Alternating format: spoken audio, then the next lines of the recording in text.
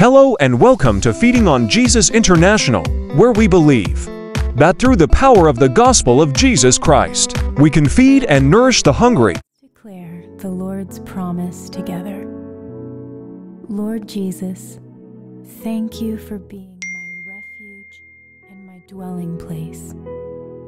I declare that as I come under your wings of protection, no evil shall befall me, nor shall any plague come near my dwelling.